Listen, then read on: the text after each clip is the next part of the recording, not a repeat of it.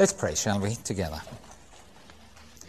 Father, we come to you tonight and we say that we want to lift up Jesus and we want him glorified by everything that is said and everything that is thought tonight.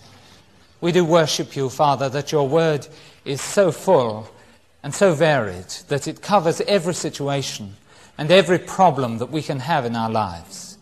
And Father, that you put the answer to every situation, every heartache, Father, every difficulty is right there, found in Jesus and in the revelation of your word.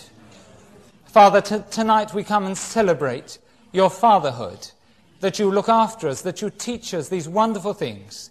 And we pray, Father, that we might become faithful to your word. And Father, that we should not be hearers of the word only, but doers also. Father, tonight in Jesus' name, will you just bless, Father, all who are in this room, that, Father, they might receive the words in their spirits, that they may have a revelation of them, and that, Father, indeed, the devil should gain less and less and less glory in this world as the church becomes more and more glorious. Father, we want to see the church built up. We want to see the church edified. And we know that the milk and the meat are the Word of God. So tonight, Father, we come with ravenous appetites. Hallelujah. And Father, we thank you that you are going to provide our every need. Thank you so much. Thank you, Lord. In Jesus' name. Hallelujah. Praise the Lord. We saw last week how tremendous is the weapon of prophecy. We saw that if a believer knows how to use prophecy correctly, then actually he finds that he has at his disposal something that's so sharp and so keen that most enemies of the gospel and most enemies of God and most enemies of the Word of God uh, tend to run away and flee before the gift of prophecy that we have been given in the Word of God. The Bible critic, as we saw last week, finds prophecy extremely hard to stomach. For to him, it speaks of a God who not only knows everything, but is prepared to reveal everything to his children. And we find that most uh, Bible critics head immediately for the prophetic passages. For a God who knows everything and declares that he knows everything cannot exist to them, and so be, must be explained away. And you remember we saw last time how they have to try and deal with the prophetic passages. And the way that they deal with them is instead of treating them as prophetic passages, they try and explain them away as historical passages. We saw last week, I think, how the book of Daniel, instead of being written in 600 BC, they try and move it up 400 years, so it's written actually in 200 BC. And then they can say that all the stuff that Daniel contains was written after the event, and that's why it's so accurate. For us, we know that actually all they're trying to do is to run away from the major weapon that we have in our arsenal. But tonight we move on and leaving what prophecy does to the unbeliever, and leaving the unbeliever grappling with the problem, we now go on to see tonight what prophecy does in the life of the believer. For it is certainly true that if the Bible consists of a great proportion of prophecy, as it does, God thinks it's necessary for me today, standing in Chichester tonight, to have that amount of prophecy. And the question is, what is it that prophecy gives me that God thinks is so necessary for my Christian life? And so we come on to the subject tonight of faith and hope. And we're going to actually work with those two words tonight. We're really going to see what faith is, and we're really going to see what hope is, and we're going to learn something about what these two things do in our lives. Praise God. Actually, faith and hope, as you readily appreciate, are actually two words of a trinity of words that always seem to come together. These three words are always joined together, and in the Bible, time and time and time again, they're used together. To show you which three words they are, in case you don't know your Bible that well, would you turn with me, and we'll begin tonight in 1 Corinthians and chapter 13 and verse 13. So the first scripture, 1 Corinthians 13, 13. And here we see this Trinity. 1 Corinthians 13, 13. And now abideth faith, hope, and charity or love. These three. But the greatest of these is love. Hallelujah. Now there's the, the great trinity. You've got faith, you've got hope, and you've got love. And you may have noticed something that's rather interesting in the church today. There are plenty of tapes on faith. And there are plenty of books written about faith. And there are plenty of tapes and plenty of books written on the subject of love. But there aren't so many, you know, written about the subject of hope. And what we're going to see tonight is that actually hope and prophecy are so co-linked, are so joined together that when the devil switched off prophecy, he automatically tried to switch off hope in the life of the believer. I do not know many believers who have a full understanding of what hope is all about. But there you've got it. In the Bible, it's faith and it's hope and it's love, and the three exist and carry on existing. We get hope used time and time and time again. We have phrases such as the hope of our salvation, Christ in us, the hope of glory, the hope of righteousness, the hope of the gospel. All these wonderful phrases. They all mean something and they're all important as far as we are concerned. Let's see a few other passages, shall we, where this trinity uh, of faith and hope and love are used together. Turn with me to Colossians chapter 1. Colossians chapter 1. Colossians 1, verse 3 to verse 5. Colossians 1, verse 3 to verse 5. And here Paul is writing, and look what he says. And in my Bible, I've got the three words underlined, just to remind me that here's the Trinity coming up again. We give thanks to God, he says, and the Father of our Lord Jesus Christ, praying always for you, since we heard of your faith in Christ Jesus. There's the first. And of the love which ye have toward saints, for the hope which is laid up for you in heaven. There's three. Let's see another passage. Turn with me to 1 Thessalonians and chapter 1. 1 Thessalonians chapter 1 and verse 3.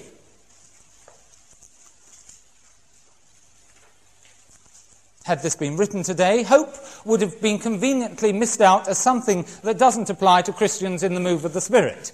Fortunately, the early church was more in the move of the Spirit than we are. And here is Paul emphasizing hope and giving it equal status to faith and to love. Verse 3.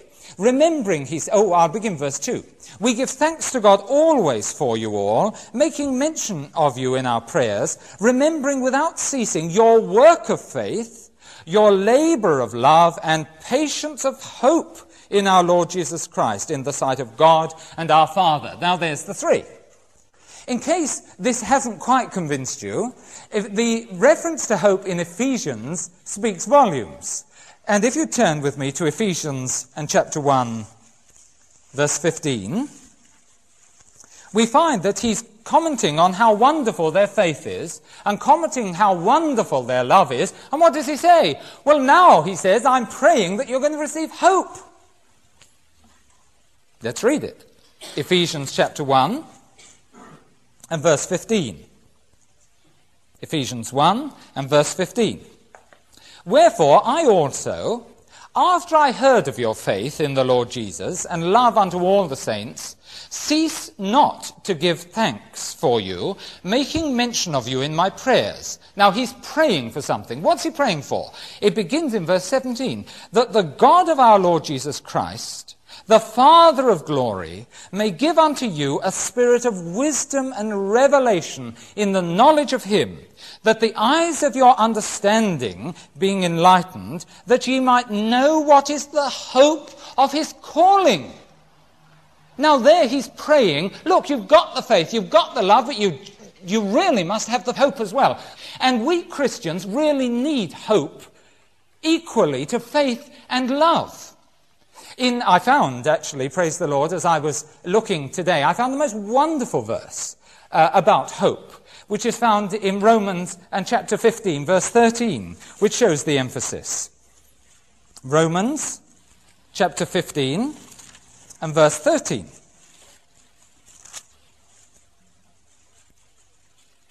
Now, the God of hope, he says, the God of hope, fill you with all joy and peace in believing, that ye may abound in hope through the power of the Holy Ghost. All right, with all this emphasis on hope, what is hope? That's what we've got to see. And how does it fit in with faith? Now, let me tell you. Faith is what gives you peace now.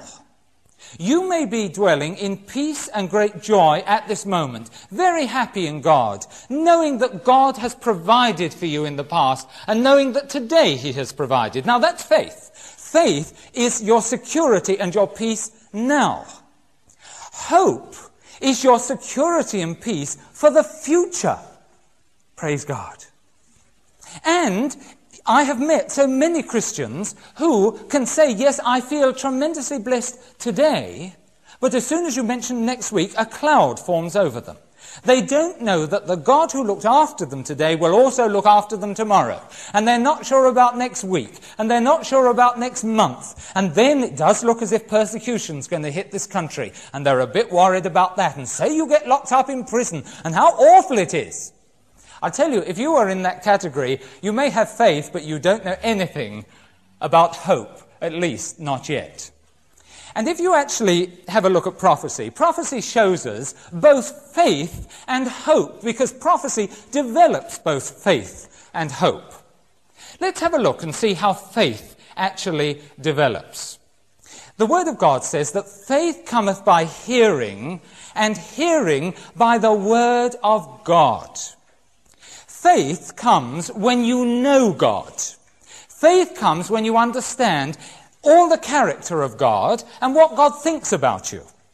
And how do you know that? You know that by looking at the way God has worked in the past. As you consider the way God's worked in the past, so it builds up your faith until today you can say, Yes, I know where I am as far as God is concerned. Now, this concept that faith is related to the past is really quite strange to most Christians. But the Jews understood it exactly. And the Old Testament shows us the real nature of faith and what faith is all about. You see, the Jews had a, a, a system which God had given them, which constantly reminded them, them of the past. It's an odd thing, isn't it? Because we live in now, and they lived in now. But they were constantly reminded about the past. Their calendar reminded them about the past. Have you ever thought about the Jewish calendar and the way that it did that? Constant reminder about the past. Once a year, they had to hold on a certain day in the first month a feast called the Feast of the Passover. Every year, on the exact same day, they held the exact same feast. And connected with the feast was a whole ritual. And every year, without fail, they had to go through the same ritual. And all the children were there, and in every home in Israel, the same ritual was, was gone through, and they taught the children what the ritual meant. Now, what were they doing? They were remembering a past event every year, and they taught it to their children. Now, their ritual had meaning. Once a year, we remember Christmas Day. Look at the ritual that we have in Christmas Day. We have a turkey. We open presents. Uh, we normally listen to the Queen's speech. At least I always listen to the Queen's speech. The next day we have Boxing Day. But you see, it's all meaningless ritual. You might explain to your children, well, on Boxing Day, the servants used to open their present. But so what? It doesn't teach them anything about anyone particularly. But that wasn't true in the Jewish times. In the, to the Jews, and it still happens today, they were taught a ritual which had meaning to remind them about something. Let's see when it began. Let's take actually the feast of Passover and see how it developed. Turn with me to Exodus 13. Exodus 13.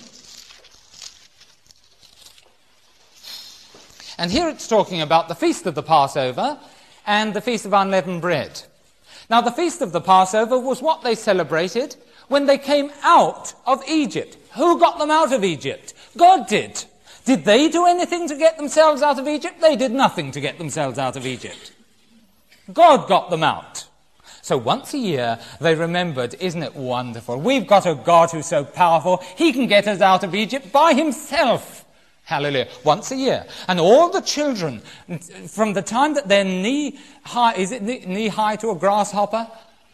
When they're this small, they start learning once a year about this marvelous God who really did lead them out across the Red Sea. Look what it says, verse 8. And thou shalt show thy son in that day, saying, and here's the father, a message to the fathers. You t- take your sons and you start telling them something. Saying, This is done because of that which the Lord did unto me when I came forth out of Egypt. And it shall be for a sign unto thee upon thine hand, and for a memorial between thine eyes, that the Lord's law may be in thy mouth. For with a strong hand hath the Lord brought thee out of Egypt. Thou shalt therefore keep this ordinance in this season, from year to year.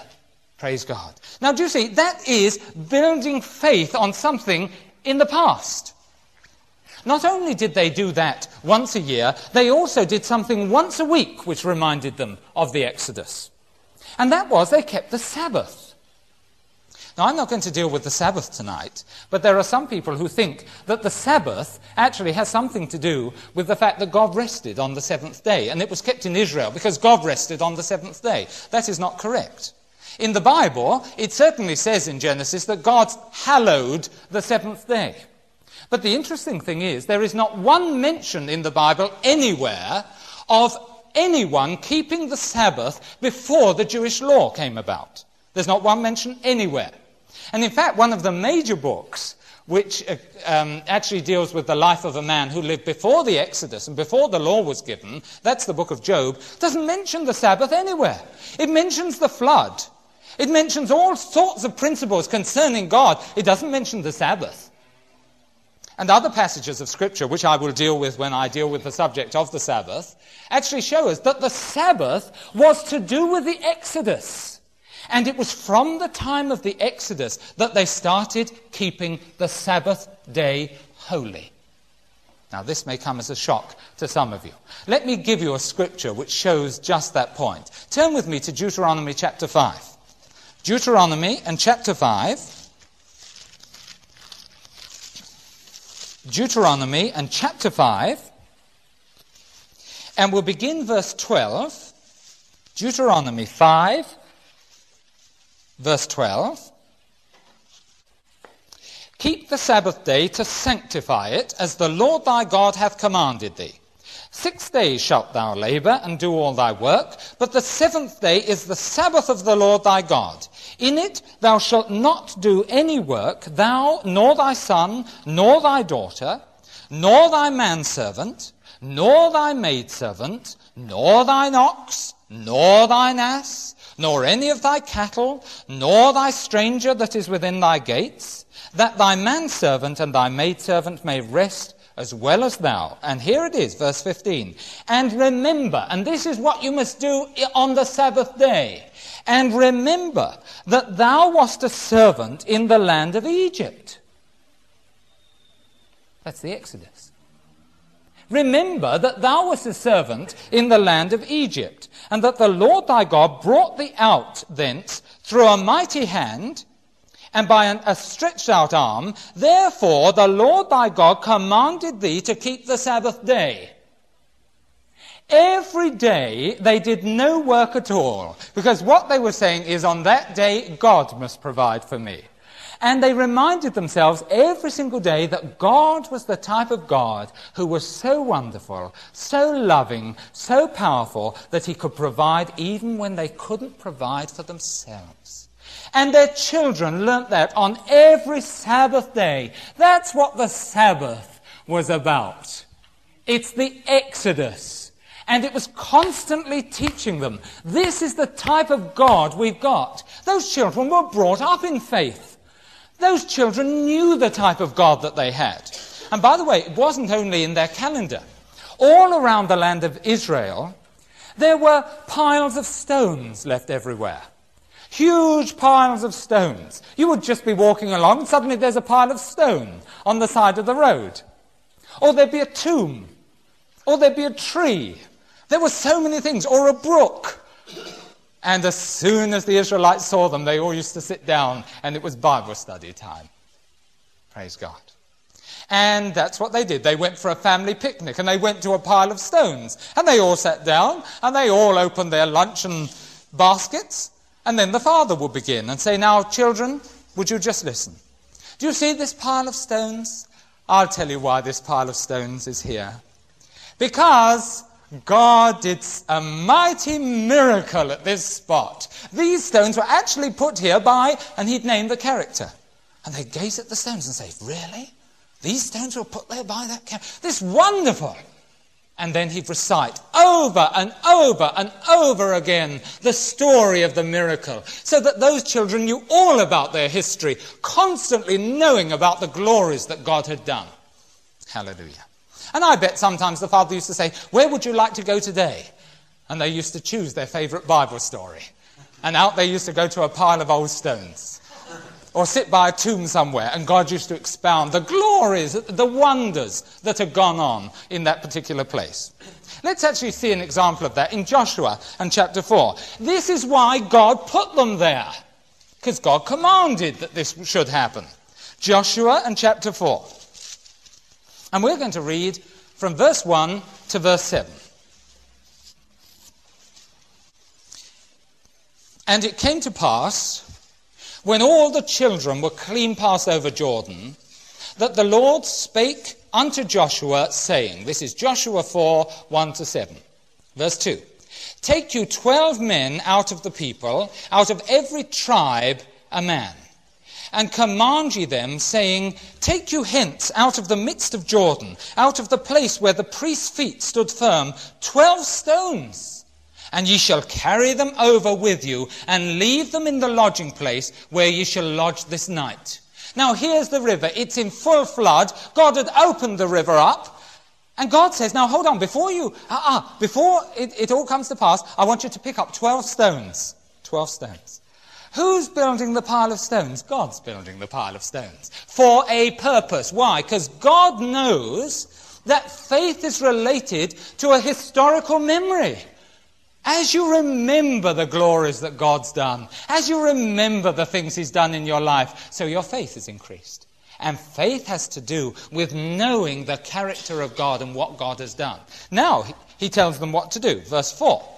Then Joshua called the twelve men whom he, he had prepared of the children of Israel out of every tribe a man.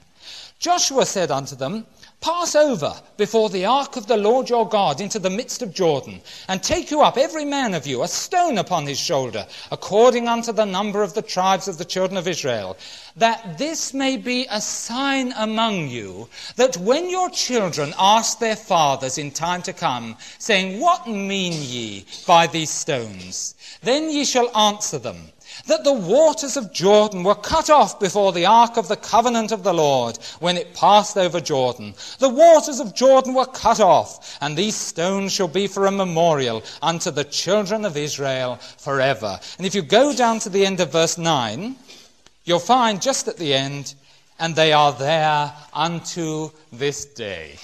Hallelujah. And it says here, gather your children, you tell them what happened. That the waters parted in front of the ark of God. Now there is faith produced by past memory. Things that have happened in the past. And I want to say this to us as a fellowship. I will not be happy until I hear our children in the fellowship chanting and reciting the gospel stories until they know them off by heart. And I will not be satisfied until both both in the family and in the Sunday schools, the stories, the great wonders of the Old Testament are learnt by those children until every father is saying, I've got a story to tell you. One day there was a people in bondage, and God so loved them, he brought them out of bondage. If you want faithful children, I'll tell you the way to get them faithful. You start teaching some, them some of the marvelous things that Jesus has done. Hallelujah. And you will find that they will be faithful children. They will grow up with a God who's real and a God who's a miracle worker. Hallelujah. Right, now that is what faith is. Well, hope is faith for the future. Faith for the future. And the word hope, when it's used biblically, is not the same as the word hope as we use it in our everyday lives. In our everyday lives, we sort of say, Oh, I hope it won't rain tomorrow. Or I hope so and so doesn't come this afternoon because I'm rather busy. Or I hope my car doesn't get another flat tire. Or something like this. In other words, well, I'm not sure. It might rain tomorrow. It might not rain tomorrow. That's not biblically sound. Not at all. Hope in the Bible is assurance about what is going to happen. You are positively sure. The hope of salvation is that you know you're going to be saved. Hallelujah. That's what it is. The hope of glorification is you know you're going to be glorious. The hope of the gospel is that the world may be saved. Hallelujah. Hope is assurance in the future. That's what it's all about. And you'll notice how it's related. We saw this last week. Jesus was raised, past, faith. And I shall be raised, future, hope, hallelujah. When you say hope, you're not saying, well, perhaps I might be and perhaps I won't be. That's not what biblical hope means. It means I definitely will be. Hallelujah. And I definitely will be secure in the future. And I definitely will be blessed. The hope of blessing is when I stand up and say, Oh, I'm living in the hope of blessing. I'm not saying, Well, I hope you'll bless me, God. I just hope you will. But you might not. You're not saying that. You're saying, I know from your character you've blessed me in the past and you're going to bless me in the future. Hallelujah. You'll find this time and time again, especially in the book of Romans. Let's have a look at the book of Romans and let's see it. Romans chapter 6. Romans 6.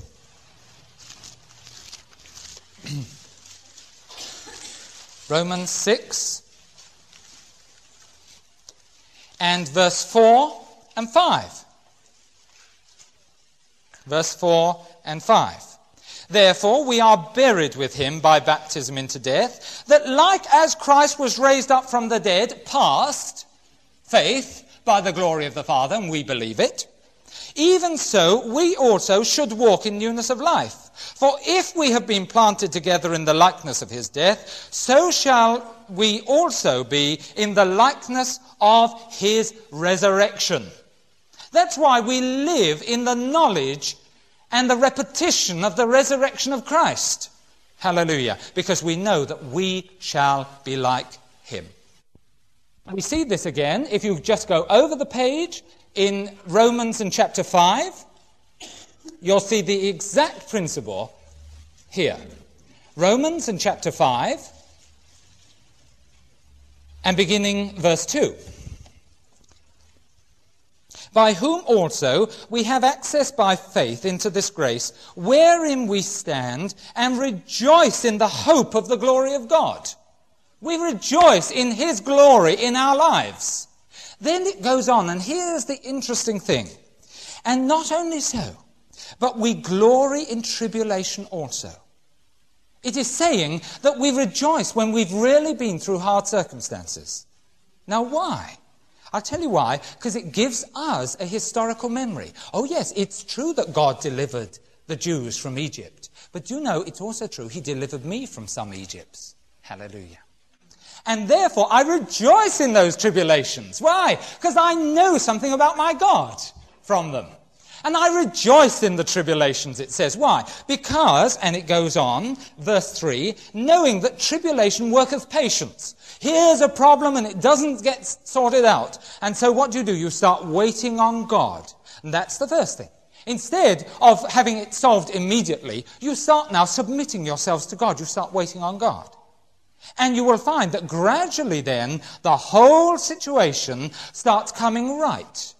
So, tribulation worketh, here it is, patience, verse 4, and patience worketh experience. Now, you've been through a difficult situation. It wasn't solved immediately, it took time to solve it, but it was solved in the end. And you suddenly say, hey, I've learnt something about God through this experience. I've learnt that He is able. I've learnt that He's the one who can do anything. And as soon as you've learnt that, then you find the next thing. After experience, hope. And experience worketh hope, because you know that if you go through that again, He'll deliver you again. Hallelujah. That's what hope's about. Oh, hallelujah. May I say it for you? Praise the Lord. It's wonderful. That's what it's all about. And so, through our experiences, we can say, yes, God builds up our faith and builds up our hope because we know He'll deliver us in the future. And that's marvelous because I can then come to you and I can say to anyone in this room, I've been through that situation and God delivered me. Didn't my God deliver Daniel? Amen. Historical memory, faith. Didn't he deliver me? Right, historical memory, faith. And won't he deliver you? Hope. Hallelujah. He sure will. Praise the Lord. Now that's the relationship. And you'll find that prophecy is so developed that it develops both faith and hope. And that's why we get two types of prophecy. And you know what the two types are. We have, first of all, fulfilled prophecy. And the second type is unfulfilled prophecy. Fulfilled prophecy develops your faith. Unfulfilled prophecy develops your hope. Hallelujah. And there you've got what prophecy is all about. No wonder the devil has switched off hope. He'd like us nice and defeated, wouldn't he? Hallelujah. But we're beginning to thwart him. Praise God. Now you've got to understand this principle because God in the Old Testament prophecies has developed the, a system whereby he gives some prophecy, half of which will be fulfilled in the lifetime of the people who hear it and half of which will not be fulfilled in the lifetime of those who hear it. I better say that again. Old Testament prophecy always consists of the same pattern. You've got half that is actually fulfilled in the lifetime of the believers who hear the prophecy. And half is unfulfilled in the lifetime of the people who hear the prophecy. Now, why? Because as they're going through something, they see that the thing that's been prophesied is coming to pass. That builds up their faith. And then they see what God promises them, and it builds up their hope. You will always find this in the Bible that the major prophetic books have not been given during the golden eras of the Jews. There was a golden era, you know, between the Exodus or, or, just after the Judges, really, and through King, so, uh, King David's reign and King Solomon's reign. How much prophecy? Hardly any. How much prophecy was given in the, the beautiful times, the, the golden era that followed the prophet Malachi? Hardly any. In fact, none that's recorded as far as we are concerned. Where was all the prophecy given? It was given in real troublesome and hard times. Because that's what prophecy is best for. Prophecy comes into its own when you've really got to go through something.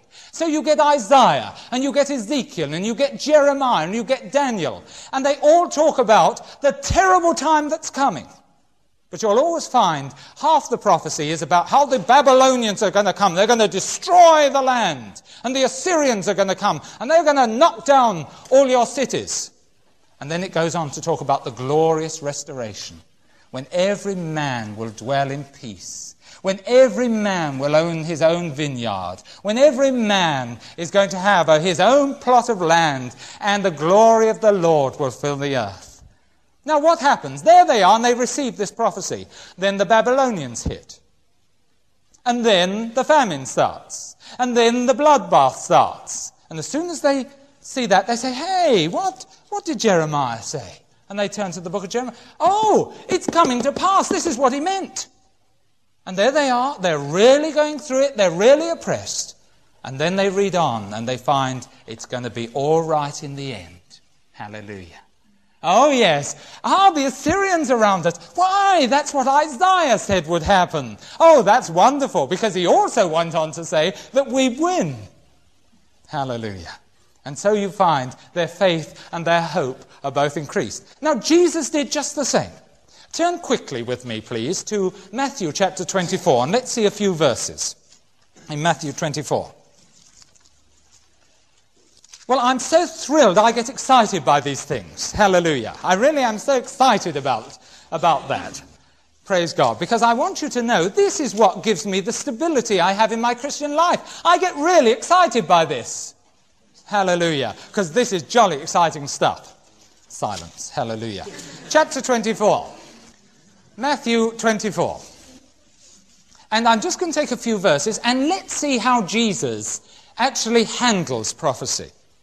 Let's see how he handles prophecy. They ask him, Jesus, what's, going to, what's it going to be like when you return at the end of the world? What's it going to be like?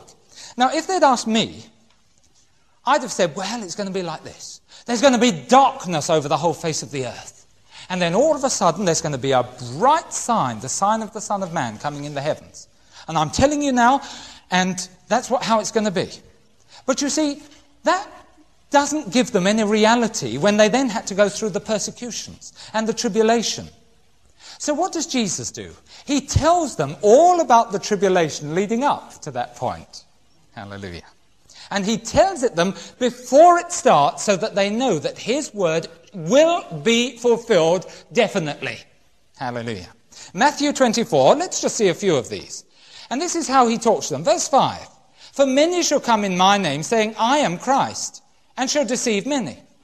And there's the early church. And suddenly, oh, here's a man, I'm Christ. And he's got a big following. Don't get uptight. It's what Jesus said would happen. Hey, I've met a man, the first I've met. And he said he was Christ. And he's got a big following. What did Jesus say about this? Look, it's come to pass. Hallelujah. Hey, perhaps Jesus does know what he's talking about. Praise God. Next verse.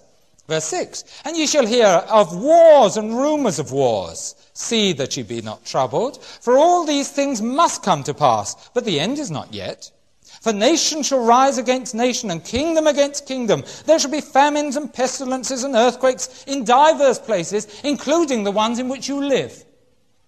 Hallelujah. I'm warning you, he says, before they come to pass. Um, verse 9 Then shall they uh, uh, deliver you up to be afflicted, and shall kill you, and ye shall be hated of all nations for my name's sake. And so it goes on. If you go across to verse 25, this is the point. Behold, I have told you before. And here were the persecuted church, and in the future there will be Jews who are going through terrible persecution. They're going to read these passages. And, and in the future they're going to say, hey, 2,000 years ago Jesus started talking about this, and it's come to pass. Well, I think we'd better read on, because he doesn't leave them just there he takes them into the realm of hope. And if you read on just a little bit, verse 29. Immediately after the tribulation of those days, shall the sun be darkened, and the moon shall not give her light, and the stars shall fall from heaven, the powers of the heaven shall be shaken. Then shall appear the sign of the Son of Man in heaven. Then shall all the tribes of the earth, and so on. Verse 31 And he shall send his angels with a great sound of a trumpet, and they shall gather together his elect from the four winds, from one end of heaven to the other. We're going to be all right, folks. Hallelujah. Because he's going to gather us. He's going to gather us together. I think we'll be all right. Hey, but they've just killed your uncle. It doesn't matter. Jesus said they'd kill him. Jesus said we should be killed. Jesus said we were going to be afflicted, but we win in the end. Hallelujah. So pucker up, everybody. Praise God. Keep your pucker up. That's what this is all about. And that's what prophecy is all about. This is why 1 Thessalonians was prophetic. For the Thessalonian church was really going through it. Their loved ones were being killed left, right, and center. Their husbands, their children were being slaughtered. What would you have done if you'd heard about that and you had to write a letter to them? Paul knew that what they needed in a time of affliction and a time of difficulty was prophecy. Because prophecy builds up faith and gives you hope. Let's see. 1 Thessalonians chapter 4. 1 Thessalonians and chapter 4. And beginning verse 13. They've lost their loved ones. Paul doesn't waste any stupid sympathy. Their loved ones are with the Lord. He'd, he'd already uh, taught them about what it meant to go to be with the Lord. They were with the Lord. And Philippians, he was going to write Philippians a little later. And in that he says it, which is much better. Much better than being down here, so what are you so anxious about? Look what he says. But I would not have you to be ignorant, brethren, concerning them which are asleep, that ye sorrow not, even as others, which have no hope. For if we believe that Jesus arose from the, get, the dead, do we believe that? We do. Faith. Even so, and here's the hope, them also which sleep in Jesus will God bring with him. For this we say unto you by the word of the Lord. This is uh, 1 Thessalonians 4 13 on. We which are alive and remain unto the coming of the Lord shall not go before those who are asleep. For the Lord himself shall descend from heaven with a shout, with the voice of the archangel, with the trumpet of God, and the dead in Christ shall rise first. Hey, he says, your beloved husband is going to get up there before you are. Hallelujah. That's prophecy. Praise God. Then we, which are alive and remain, shall be caught up together with them in the clouds to meet the Lord in the air. And so shall we ever be with the Lord. And verse 18 Wherefore, comfort one another with these words. Start talking prophecy with one another. I can tell you, with my knowledge of prophecy, I get excited every time I hear of a world crisis. Isn't that amazing? Praise God. And so, so all our enemies are up against us. Well, hallelujah, Jesus is coming soon. And that's the meaning of this passage. Now, to bring all these thoughts together, I'm going to give you an example. And this is a marvelous example from the Old Testament, and it concerns our great man of faith, Abraham. So, would you turn with me, please, to Abraham, uh, sorry, to Genesis chapter 15. Yes, I'm just about to write a new book. I haven't told you yet. Genesis and chapter 15. And we see Abraham. Now, this is the most glorious and wonderful story. And it shows us that this nature of fulfilled and unfulfilled prophecy was here even in the time of Abraham. Here it is. Now, you remember the situation, of course. Abraham had obeyed the word of the Lord, and for 10 years he'd been in the place that God wanted, to, wanted him to be in. But Abraham wanted his own male heir. Oh, he just wanted a son. That's all he wanted. And he wanted to know, God, I've been here 10 years and I haven't had a boy yet. You know, please, what are you going to do about this situation? Now, what does God do? Well, he's going to give him hope through prophecy. But that's not the main point that I'm going to make from this passage. But let's just see the little bit of prophecy. Um, verse 3 Abraham said, Behold, to me thou hast given no seed, and lo, no one born in my house is mine heir. Verse 4 And behold, the word of the Lord came unto him, saying, This shall not be thine heir, but he that shall come forth out of thine own bowels shall be thine heir. Now there's a promise, it's a prophecy. Abraham, or Abraham as he was, you're going to have your own son. Now there's hope. But then God, because he's a generous hearted God, he gives the rest of the details as well. Now this is a wonderful thing. He doesn't just say you're going to have one son. He then goes on in verse 5 and he brought him forth. Hey, Abraham, you know that son we were talking about? You come outside with me, just a sec. And it was a nice, clear night. The type of night, you know, when the owls go hunting and they can see easily, and the rabbits are lit up on the hillside, and the stars are showing, and the Milky Way can be seen. And, the, and God says, Hey, Abraham, just look up a sec.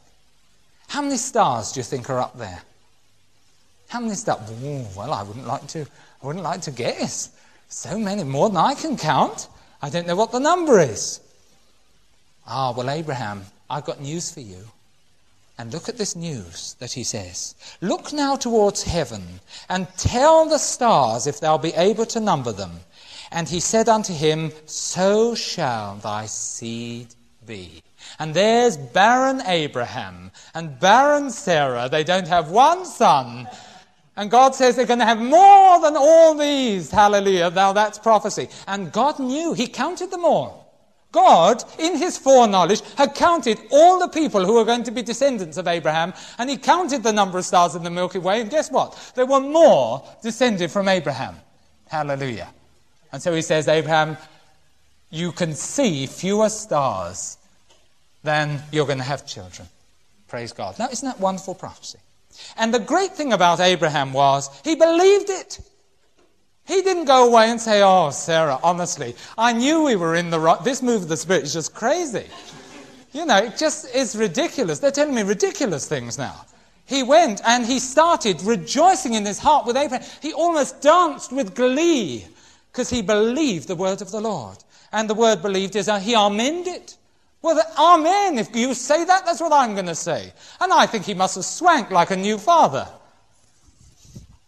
like a new father. He must have swanked, you know, well, my boy, well, he's only one, but you've no idea what's coming. That's the type of faith that he had. Now, that was prophetic. But Abraham had got it slightly wrong because you see, Abraham thought it was going to be simple.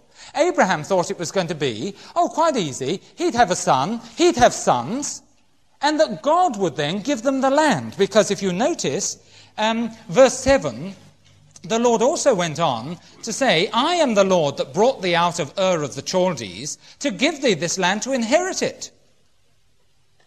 And Abraham thought, well, fine, my son will have children, they'll have children, and they'll just live in this land. But God knew it wasn't going to be as easy as that.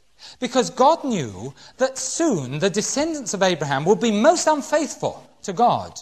And that as discipline, he'd have to take them into Egypt, where they become slaves Oh, they get the land eventually, but not immediately.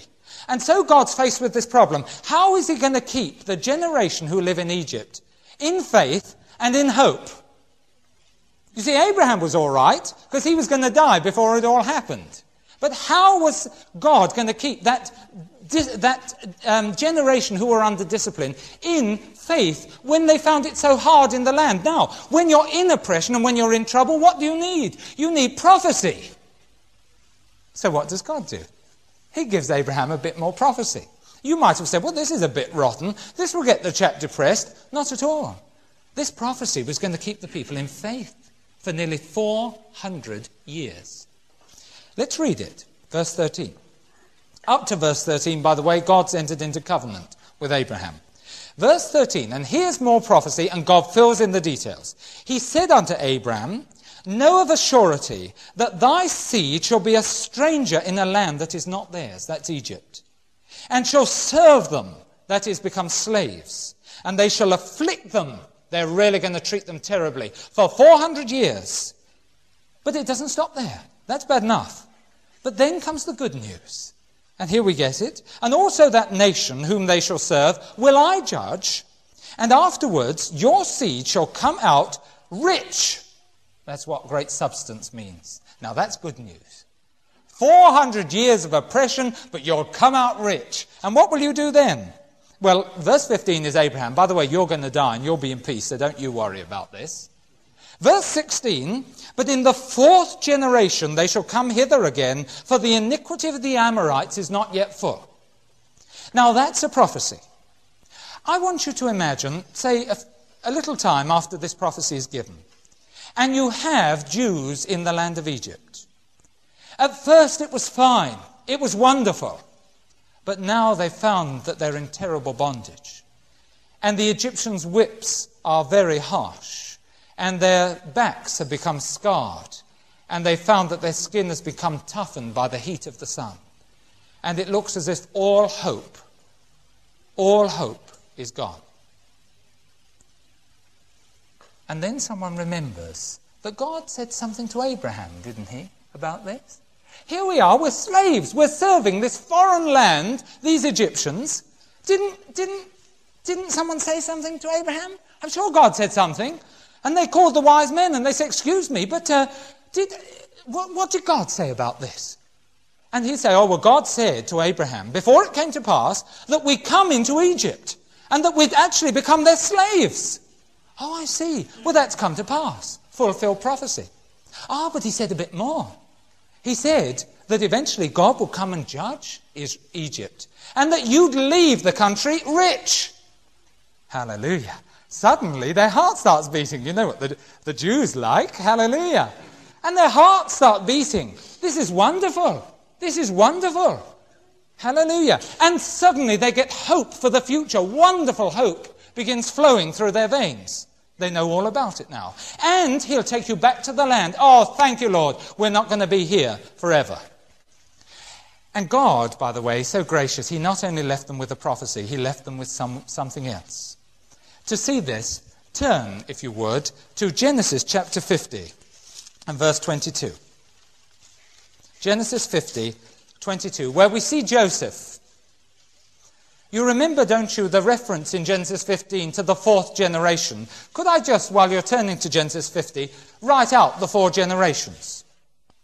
The first generation was Levi, generation one. The second generation was Levi's son, Kohath. Generation two. Kohath had a son called Amram. Generation three. And Amram had a son called Moses. Generation four. You can check those for yourself in 1 Chronicles chapter 6. And God's word was going to come to pass in the fourth generation. Hallelujah. Who led them out of Egypt? Moses did. That was prophesied 400 years before it actually happened. Praise the name of Jesus. All right, now let's see this. And here we get Joseph, and we get a marvelous statement. Verse 22. And Joseph dwelt in, in Egypt, he and his father's house. And Joseph lived 110 years. Oh, and this is it. Verse 23. This is a gorgeous phrase. Why is this in the Bible? It's because of this four generation promise. Here is Joseph, verse 23. And Joseph saw Ephraim, Ephraim's children of the third generation can you imagine what Joseph felt? He knew that God had said, in the fourth generation, you're going to leave Egypt. And there, sitting on his knee, was a little boy who was the third generation. Joseph must have said, Hallelujah. One of his children is going to see us leave Egypt rich.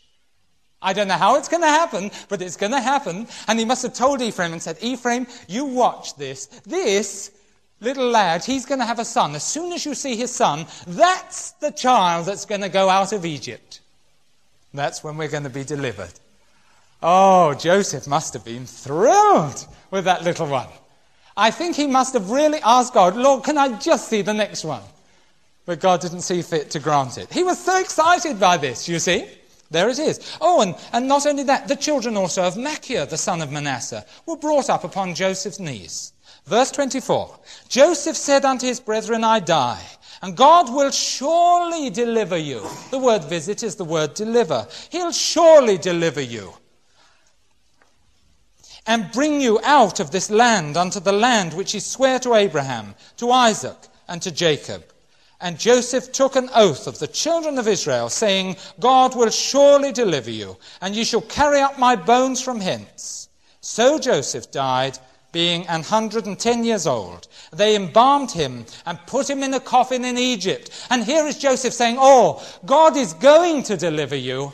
And because I believe that, I don't want to be buried in Egypt. Thank you very much. Will you make sure I'm not buried in Egypt? And they said, Yes, we will. And they embalmed his body, they put him in the coffin, and the coffin was left out in the open for the whole time they were in Egypt. And guess what happened? The fathers used to go there for a picnic. Hallelujah. And they used to go up and they used to say, Son, do you see this coffin? This is Joseph. Now, Joseph said, We mustn't bury him. Why? Because we're going to go back to the land of our fathers.